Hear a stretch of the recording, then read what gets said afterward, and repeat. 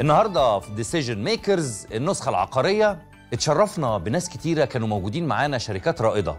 بس أنا النهارده يا جماعة جايب لكم بقى كادر من الكوادر المصرية. هو أستاذ. أستاذ بيدرس علم وفن الإدارة. بيدير 15 20 شركة في نفس الوقت. بنفخر بوجوده معانا وفي وسطينا وفي مصر. تعالوا نشوف بقى المهندس معتز مؤسس ورئيس مجلس إدارة. الشركة العربية لعلاج وتعبئة مياه الشرب.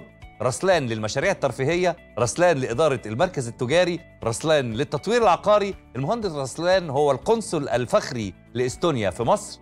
المهندس معتز رسلان رئيس مجلس إدارة مجلس أعمال كندا مصر مجلس الأعمال المصري للتعاون الدولي. المهندس رسلان عضو نشط أيضا في الغرفة التجارية الأمريكية وجمعية الأعمال المصرية البريطانية والمجلس المصري للشؤون الخارجية روتري مدينة نصر ومنتدى مصر الاقتصادي الدولي.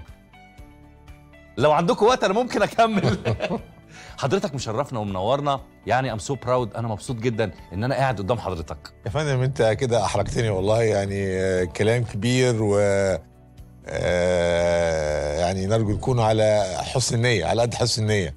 وشكرا على الاستضافة وشكرا على حضرتك. الجميلة دي. أنا عايز أعرف حضرتك بتجيب وقت منين لكل الحاجات دي؟ آه. Management is art والله يا فندم يعني سيادتك آه، جيت على النقطة الحساسة. It is a very difficult thing. آه، الدخول في مجالات عدة ومتعددة آه، من أصعب الأشياء اللي ممكن أي رجل إدارة ممكن يخش فيها. مش شرط أقول لك إنها لازم تبقى كلها ناجحة إنما كلها تجارب. واللي بياخد من تجربة حتى إن كانت فشلت بيطبقها وينجحها في تجربة أخرى. إحنا حقيقة دخلنا في مجالات كتيرة من اللي حضرتك اتكلمت فضلت واتكلمت عنها. منها التاكسي جو كان عندنا شركة طيران وعندنا شركة كيماويات و و- وواجهنا فيها مشاكل كتير. للأسف ال- البلد هنا طبعا آه، نتيجة نوع من أنواع البيروقراطية وشويه مشاكل على مدى السنين سواء من أزمات السياحية اللي بتمر فيها البلد من حادثة الأقصر لحرب العراق للكلام ده كله واجهتنا مشاكل عديدة. إنما ولا شك إن إحنا كل تجربة بنخش فيها نجحت أو فشلت. نعتبرها يعني إضافة. اكسبيرينس خبرة. إضافة وإضافة كبيرة لأي شيء ممكن نعمله في المستقبل. طيب بما إننا في صناع القرار وحضرتك من صناع القرارات ربنا يبارك عايزين آه، هسأل حضرتك حضرتك دلوقتي في الوقت ده مع أي مدرسة هل مع مدرسة إن القطاع العقاري بيمر بمشاكل وتعبان و... ولازم نسنده ولا القطاع العقاري دلوقتي جات له فرصة من ذهب ولازم يستثمرها؟ والله لا حضرتك انت أنا هي مزيج بين الاثنين مزيج آه، بين الاثنين آه طبعا لأنه خليني أقول حاجة كده نبذة عن تاريخ ال- ال- العقار في- مصر. إحنا لو حضرتك تاخد بالك إنه آه، في أوروبا مثلا ال ال ال ال ال آه، التطور العقاري أو الغلو العقاري أو الإنفليشن زي ما بيقولوا بطيء للغاية. أنت بتلاقي مثلا بتشتري بفيلا مثلا تيجي بعد سنة ما تزيدش يمكن 1% ويمكن ما تزيدش كمان. هنا في مصر عندك بتنط من السنة للسنة ب 10 و15 وإذا كان الموقع جاي تنط 20% ده نتيجة إن إحنا قعدنا فترة طويلة أيام الفترة الاشتراكية. أيام عبد الناصر إحنا ما كانش في عندنا بنية. كنا محصورين في مساحة ضيقة لدرجة إن إحنا ابتدينا عشان نقص وقتها السيولة والعملة والظروف اللي كانت بتمر فيها البلد ابتدينا نتجه رأسي. يعني هد الفلل ونطلع رأسي لأنه ما عندناش انفراستراكشر نطلع العرض الكلام ده اتغير الحمد لله دلوقتي. وجي آه، الفترة اللي إحنا بنفتح في التسعينات وابتدينا نعمل المدن الجديدة فكان حقيقي ال- ال- المعروض على قد المطلوب فكان السوق فعلا ناجح وكان مستمر النهارده آه، إحنا بقى عندنا العرض أكبر بكتير جدا من من. الطلب, الطلب. فبالتالي على قد المستوى المحلي لأنه اتفتحت عندنا المدن جديدة عندك ال- العاصمة الإدارية الجديدة لوحدها ده ده مش دي مدينة بحالها جديدة بالكامل.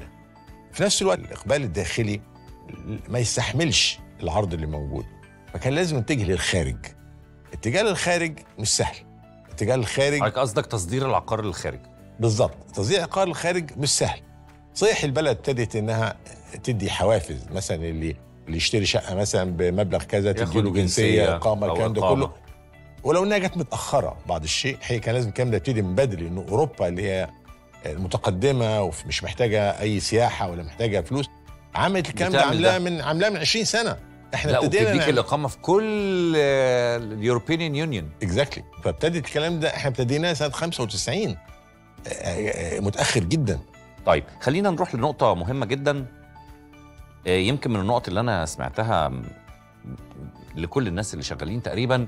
وسألتهم يا جماعة أنتوا شغالين وبتبنوا وبتبيعوا ولا موقفين؟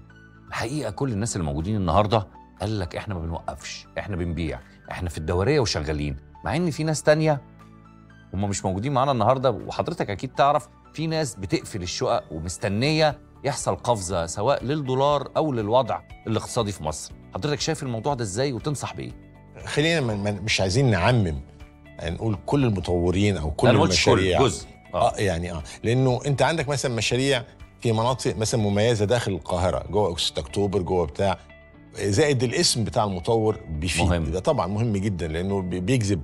إنما إحنا مش بنتكلم على دول أنا مش بتكلم على بتاعت أربعة خمسة الكبار آه، أو المناطق الداخلية. أنا بتكلم على آه، عموم المطورين. في مطورين كتير طالعين جداد وبمنتهى الكفاءة وفي نفس الوقت اسمهم ما هوش بالقوة الكافية إن أنا أقدر أجذب أي أي واحد عايز يشتري آه، عقار. لا دول بيواجهوا وبيواجهوا مشاكل كبيرة. انت النهارده اختلاف سعر الدولار. أنا بعت لك مثلا أنا أكون بايع مثلا من سنة ال ال ال العقار مثلا بما يوازي آه، مثلا آه، ألف دولار ألاقي النهارده آه، سعره نط. التكلفة نطت عليا جامد جدا وأنا مش قادر أسلم. فبالتالي يا إما بقى حصل فيه مشاكل في التسليم حصل اختلاف بين المطور وبين بيخسر. وبيحصل مشاكل وقضايا و و و و زائد إن أنا عندي آه، رسوم لازم أسدها للدوله الدولة. بتطالبة مني إن أنا أخلص مثلا الأقساط بتاعة الأرض. طالبة مني إن أنا لازم أسلم في ثلاث سنين. طب أنا أسلم ثلاث سنين إزاي؟ إذا أنا أصلا اوريدي تكلفة المبنى زي طلع أكتر آه. بكتير من السعر اللي أنا بايع بيه. فدي كمان صعبة للغاية. في المرحلة دي طبعا لازم مساندة الدولة. اولا الدولة لازم زي ما كانت بتدي للصناعات الصغيرة والمتوسطة دعم. لازم تدي دعم في في الفايدة في في, في للبنوك ال- البنوك تدي فايدة دعم للمطور. نمرة اتنين أنا أمدد شوية الفترة اللي المفروض أسلم فيها المشروع. كانت الدولة بتجبرني في خلال ثلاث سنين وإلا تسحب مني الأرض لازم أكون خلصت. في الوقت الحاضر دي صعب. استحالة. مع كل المعروض ومع المدن الجديدة المفتوحة دي صعب جدا.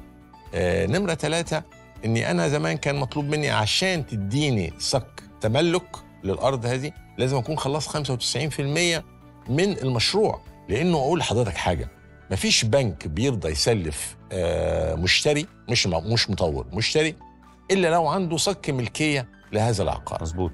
وأنا ما أقدرش أديك صك ملكية للعقار إذا أنا ما أصلا ما تملكتش الأرض. وأنا ما أقدرش أتملك الأرض غير لو أنا already خلصت 95% أكيد. زائد طبعا الروتين إن أنا عشان يثبت لي إنه 95 و و و آه. دي قصة تخش ب process إيه، كتيره process فبالتالي أنت كده بتصعب على الدنيا على جميع الناس. دي منظومة كلها حضرتك لازم كلها تتكامل مع بعضها. وأنا عندي حقيقة يعني نظرة مستقبلية آه، يعني متفائل جدا جدا جدا. إحنا بس عايزين شوية نفكر بره الصندوق.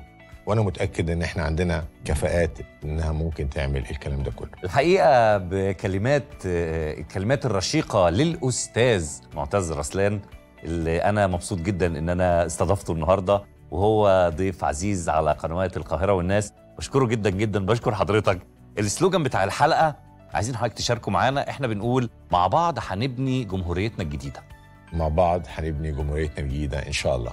بشكرك جدا جدا يا فندم. ميرسي جدا. تشرفنا بحضرتك.